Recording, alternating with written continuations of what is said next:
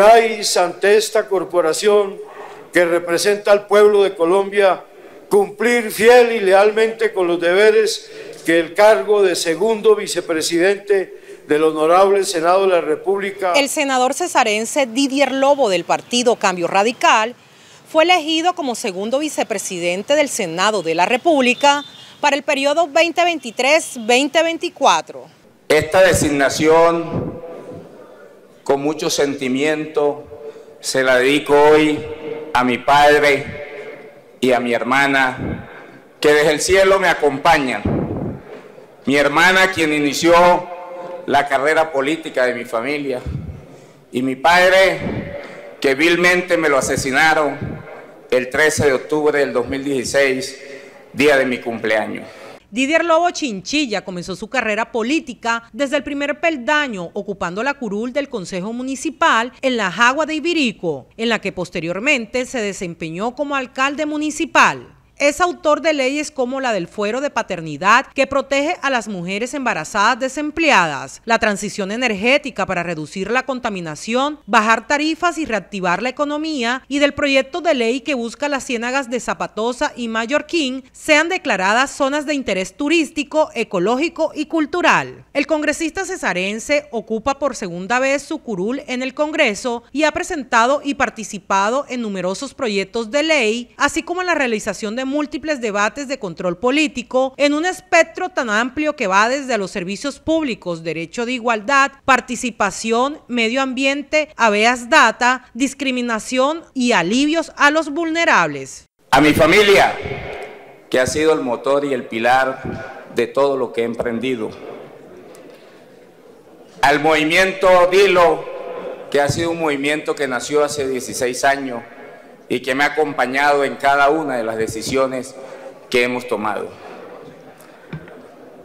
Al departamento del Cesar como cesarense y por supuesto a mi municipio, Las Aguas de Ibirico, de donde soy udiondo, donde nací políticamente, a todos los periodistas y a todos los empleados o colaboradores del Senado de la República. De verdad que esto es un mensaje para todas aquellas personas a las que siempre le he dicho que uno se tiene que atrever en la vida. Yo me atreví, por eso fui concejal, después me atreví, fui alcalde de mi municipio y este es mi segundo periodo en el Congreso de la República. Decirle, presidente Iván Name y primera vicepresidenta María José Pizarro, que en mí van a encontrar un senador que hoy represento la oposición, que tengo que hacer esa defensa en que se garanticen los derechos del Partido Cambio Radical, del Partido Centro Democrático y de quienes hoy ejercen la oposición. Pero en mí van a encontrar un aliado, un amigo con quien podemos encontrar consensos para poder avanzar en la conducción y en la dirección de este Congreso y de esta plenaria. No me queda más para no aburrirlo, sino agradecerle a todos y todas las que en esta noche me han dado la oportunidad, a una persona de estirpe popular, a una persona que fue embolador a los 12 años cuando se fue de su casa, pero que a pasar del tiempo nos fuimos superando como persona, como profesional, y por supuesto como político.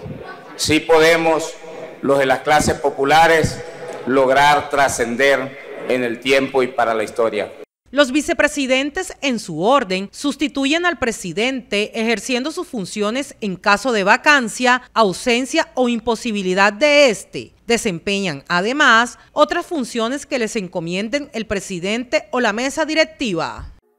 Ricardo Rojas Osorio, especialista en moda masculina y femenina, diseñada y confeccionada de manera exclusiva.